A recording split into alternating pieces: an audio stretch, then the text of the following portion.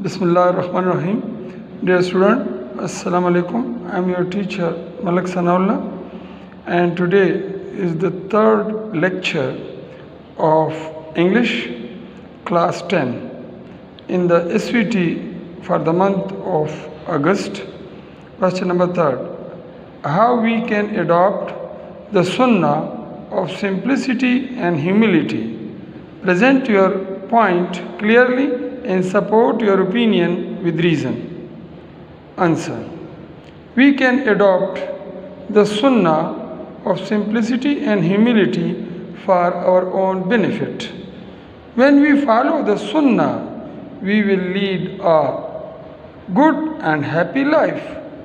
Following sunnah of simplicity and humility will give us a great advantage in the shape of saving and better utilization of resources. There would be no shortage of anything because consumption would be less and things would be available to all. In each and every sunnah of the Holy Prophet ﷺ, there is benefits for us. And in today's life, simplicity and humility are very essential sunnah and if we follow it, there would be great advantages for us in this present day extravagant life and we would be happy with our own resources and we would be content what we have. Thank you.